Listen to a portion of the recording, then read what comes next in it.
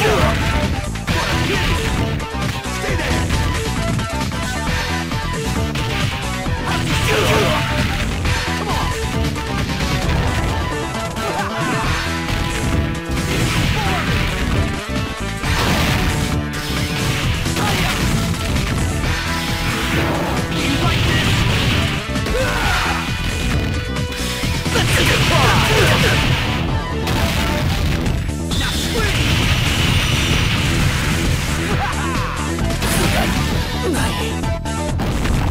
It's still not too late to run away.